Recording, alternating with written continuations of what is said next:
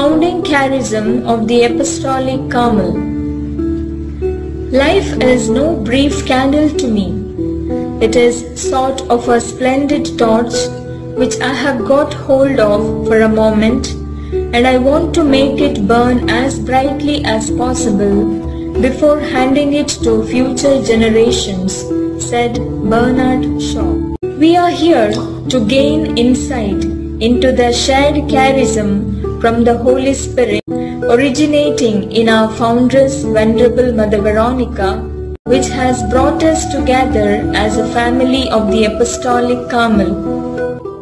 Each of us Apostolic Carmelites has received the splendid torch of our AC charism and we have to make it burn as brightly as possible by living it intensely so that it becomes a visible sign of God's all-sufficing love until we hand it over to the future generation at the end of our life.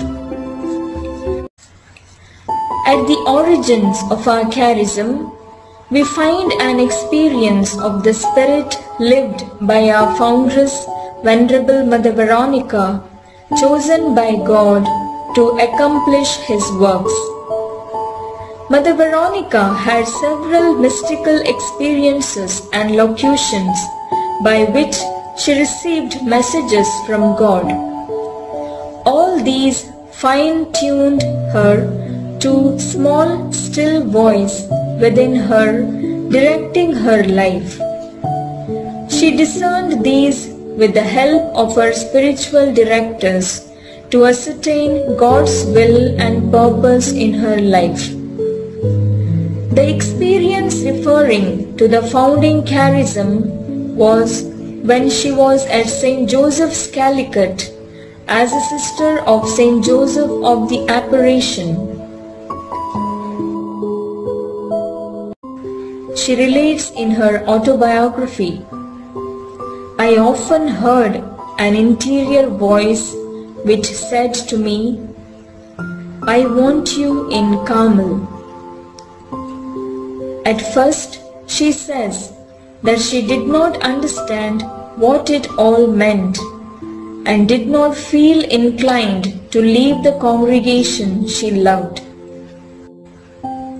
Little by little, the Spirit, as with Mary, at the Annunciation gave her the interior knowledge that it was God's will for her and she, like the Blessed Virgin, surrendered to it without knowing how, when and where it had to be accomplished. Her deep contemplative experience made her sense the need in the church and understand that she was called to bring the life of faith and light of Christ to those who were still in darkness. For Catholic education, especially for girls, to deepen their faith experience and to focus on their faith formation to bring the compassionate love of Christ to the poor and those in need. She began to realize that she was called by God to a new beginning in the church.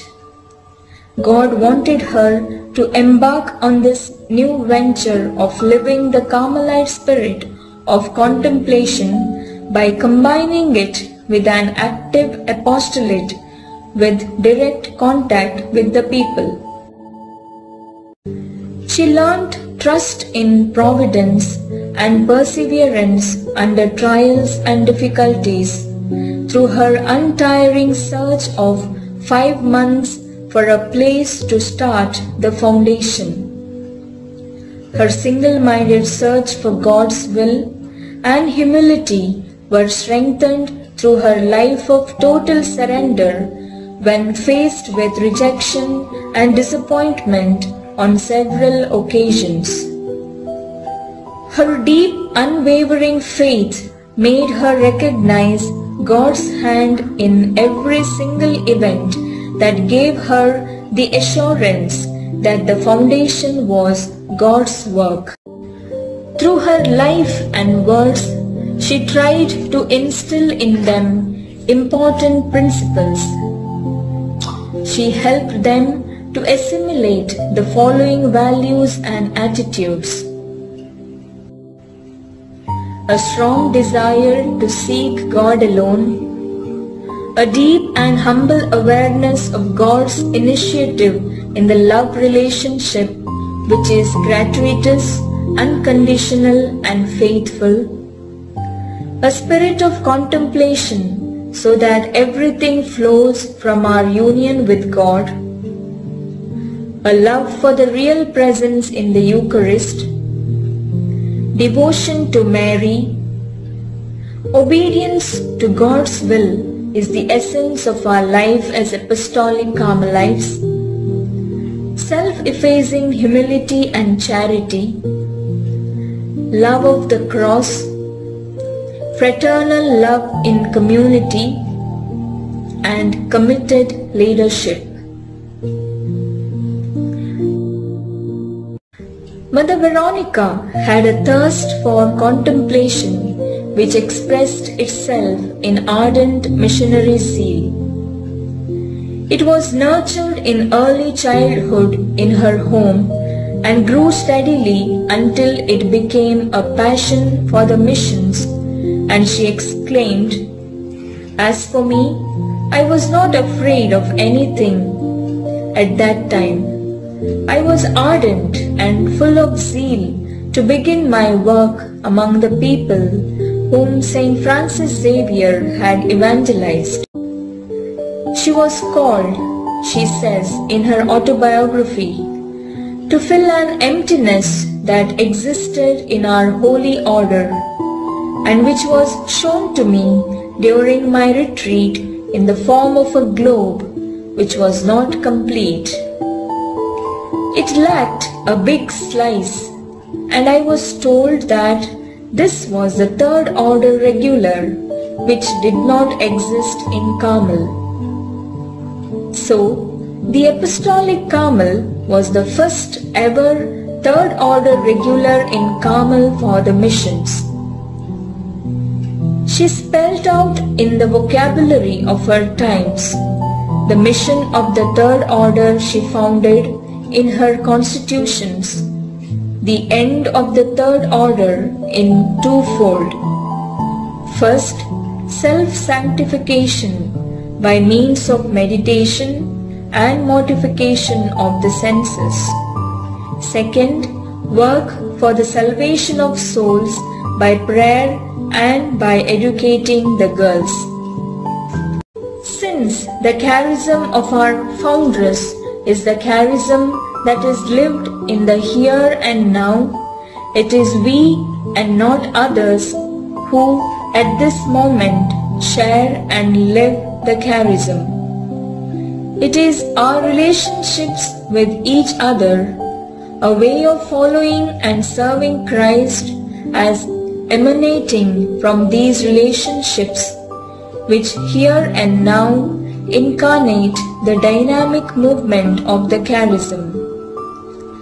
As long as the charism is truly alive in us, living members of the congregation, it is a continuity of life originating from the foundress.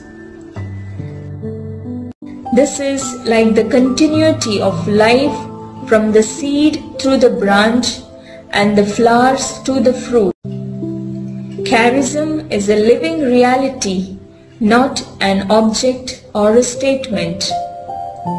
We, the members of the Apostolic Carmel, are trustees of our charism and its responsible bearers. We have to deepen and develop it and pass it on to the younger generation and to those who will enter our religious family after us. They have to receive it in all its undiminished authenticity as entrusted to us from our foundation.